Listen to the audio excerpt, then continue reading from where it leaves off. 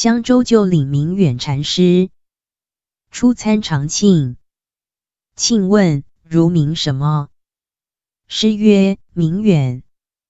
庆曰那边是作魔生。师曰明远退两步。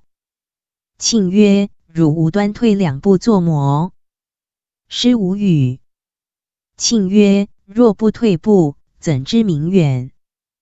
师乃欲止。